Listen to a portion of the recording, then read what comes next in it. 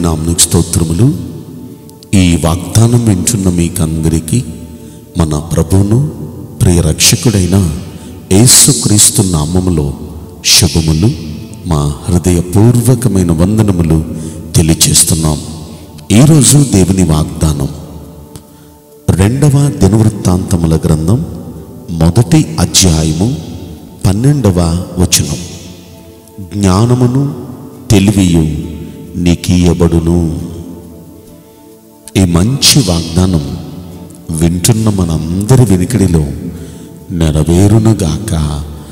మేన్ ప్రియ దైవ జనాంగమా దేవుడు మనకిస్తున్న శ్రేష్టమైన వాగ్దానం చూడండి.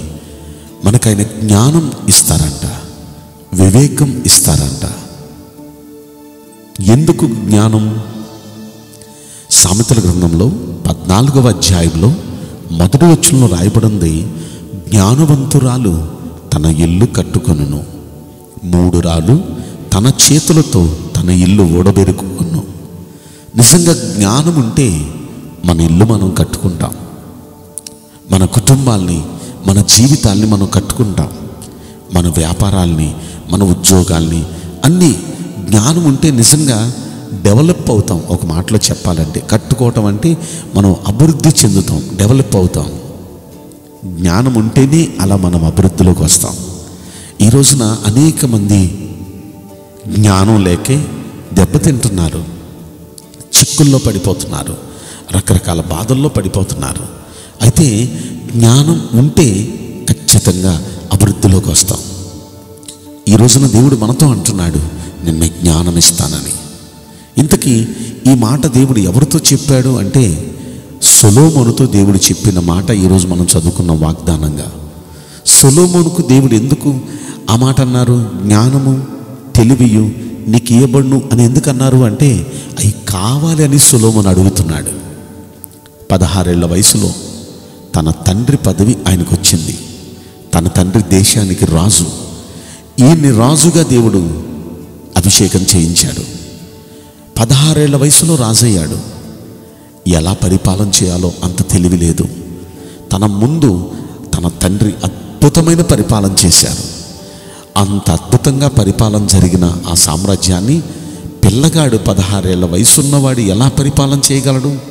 ఆయన కూడా ఒక విధమైన భయం వచ్చింది. దేవుని పాదాల దగ్గర మోకరిల్లి దీక్షతో ప్రార్థిస్తున్నాడు. ఉపవాసం ఉండి దీక్షతో ప్రార్థిస్తున్నాడు. అలా ప్రార్థిస్తూ ఉన్న సమయంలో దేవుడు అతనికి ప్రత్యక్షమయ్యాడు. ప్రత్యక్షమై ఏం కావాలి నీకు అని అడిగాడు. ఐశ్వర్యం అడగలేదు శత్రువుల ప్రాణాలను అడగలేదు చుట్టుపక్కల దేశాల్ని అడగలేదు ఇంకేదో వెండి బంగారాల ఆస్తిపాస్తులు అడగలేదు.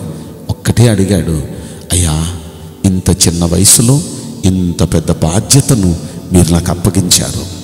అయితే ఈ బాధ్యతను సక్రమంగా నిర్వర్తించగలిగిన జ్ఞానం తెలివి నాకు అనుగ్రహించండి అయ్యా. ఎందుకంటే అది లేకపోతే నేను సక్రమంగా నిర్వర్తించలేను. పిచ్చి పిచ్చ ఆలోచనలు నేను తొందర తొందర నిర్ణయాలు తీసుకుంటాను. అయితే ఈ బాధ్యతలన్నీ చక్కగా నిర్వర్తించడానికి కావాల్సిన జ్ఞానం తెలివి దయచేయండి అంటే దేవుడప్పుడు అంటున్నాడు జ్ఞానమును తెలివియు నీకు అనుగ్రహించబడును అని. ఈరోజు మీరేమడుగుతున్నారు? మీకేం కావాలి? మనం అన్నిటికన్నా ఎక్కువగా ఇది అడగాలి. ఈ లోకంలో ఐశ్వర్యాల్ని ఈ లోకంలో ధనధాన్యాల్ని భోగభాగ్యాల్ని ఈ లోకంలో ఇంకేదో ఇంకేదో అడుగుతాం. జ్ఞానం కావాలయ్యా తెలివి కావాలయ్యా అని మనం అడిగితే అది దేవుడు మనకు అనుగ్రహిస్తాడు. మన కుటుంబాన్ని చక్కగా కట్టుకుంటాం. మన జీవితాన్ని చక్కగా తీర్చిదిద్దుకుంటాం. మనం ఒక అభివృద్ధిలో పదంలోకి వస్తాం. చిక్కుల్లో పడకుండా మనల్ని మనం కాపాడుకుంటాం. అన్ని విషయాల్లో ఏ పని చేస్తున్నా ఆ పనిని సమర్థవంతంగా చేయగలుగుతాం. ఎక్కడికి వెళ్ళినా ఆ పనిలో సక్సెస్ఫుల్గా మళ్ళీ తిరిగి మనం వస్తాం. జ్ఞానం ఉండటం వల్ల ఎన్నో రకాల ఉపయోగాలు. అయితే జ్ఞానం కావాలని అడుగుదామా? అడిగినప్పుడు ఎలా అడగాలి? అడిగితే దేవుడు ఎలా ఇస్తాడు? అనే మాట యాకో పత్రికలో మొదటి అధ్యాయంలో ఐదు ఆరు వచనాల్లో మనం పరిశీలిస్తే అక్కడ రాయబడి ఉంది. మీలో ఎవరికైనా జ్ఞానం కొదువుగా ఉందా? అయితే అతడు దేవుని అడగవలెను అనే మాట. దేవుణ్ణి మనం అడగాలి జ్ఞానం కొద్దుగా ఉందయ్యా దయచేసి మాకు జ్ఞానం ఇవ్వండి అయ్యా అని దేవుణ్ణి అడగాలి. ఆ దేవుణ్ణి అడిగితే దేవుడు ఏం చేస్తాడంట? ఆయన ఎవరిని గర్తించకుండా అడిగిన వారందరికీ ధారాళంగా దయచేస్తాడంట. ధారాళంగా దేవుడు ఏది ఇచ్చినా సరే ధారాళంగానే ఇస్తాడు. ఏదో కొరచ కొరచగా కొంచెం కొంచెం కాదు ధారాళంగా దేవుడిస్తాడు. ఎవరికి అంటే ఆయన్ని అడిగేవారికి. అడగాలి ఇసయా దయచేసి నాకు జ్ఞానమునివ్వరా దయచేసి నాకు తెలివివ్వరా? అని అడగండి. చదువుకుంటున్న పిల్లలు ఉద్యోగం చేసుకుంటున్న యవ్వనస్తులు అలాగే కుటుంబాల్లో సంసారిక జీవితంలో ముందడుగులు వేస్తున్న ప్రతి ఒక్కరూ మీరు అడగండి. అలా అడిగితే ఈనాడు చాలా కుటుంబాల్లో సమాధానం లేదు? చాలా కుటుంబాల్లో ఒకరికొకరికి పసుకటం లేదు. కారణం ఏంటంటే జ్ఞానం లేక. జ్ఞానం లేక అపార్థాలు చేసుకుంటూ ఒకరి మధ్య ఒకరికి సమాధానం లేక కుటుంబాల్లో నెమ్మది లేదు. అయితే జ్ఞానం కలిగి ఉంటే కుటుంబాల్లో ఆ గొప్ప అండర్స్టాండింగ్ గొప్ప సమాధానం ఉంటుంది నెమ్మది ఉంటుంది గొప్ప ఆనందం ఉంటుంది. కనుక దేవుణ్ణి మనం అడగాలి అయ్యా జ్ఞానం ఇవ్వరా వివేకం తెలివి అనుగ్రహించరా? అని అడగాలి. అయితే అడిగే వాళ్ళు ఎలా అడగాలంట? కింద అంటాడు అయితే అడిగే వాళ్ళు విశ్వాసంతో ఏ మాత్రం సందేహించకుండా అడగాలి అంటున్నాడు.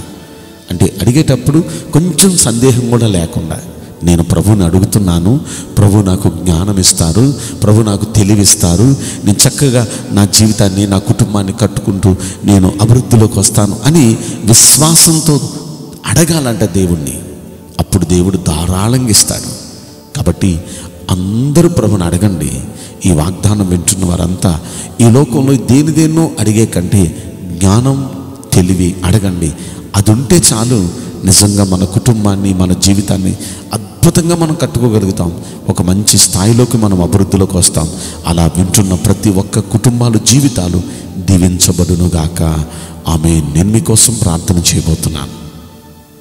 పరిశుద్ధుడా ప్రేమగలేసురాజా మీ పరిశుద్ధ బంగారు పవిత్రమైన నామునకు నిండు మనసుతో కోట్ల కొలదిగా స్థుతులు స్తోత్రములు వందనాలు చెల్లిస్తున్నాం.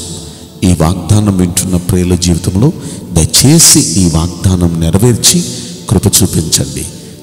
తెలివియు జ్ఞానమును మీ బిడలకు సమృద్ధిగా ధారాళంగా మీరు అనుగ్రహించి మీరు మేలు దయచేయమని ఈ కొద్ది మనవులు నసుడని యేసుక్రీస్తు ప్రశస్తమైన నామంలో మిక్కిలి వినయముతో ప్రార్థించి మృతిమలాడి వేడుకుంటున్నాం ప్రియ పరలోకపు తండ్రి. Amen may God bless you all thank you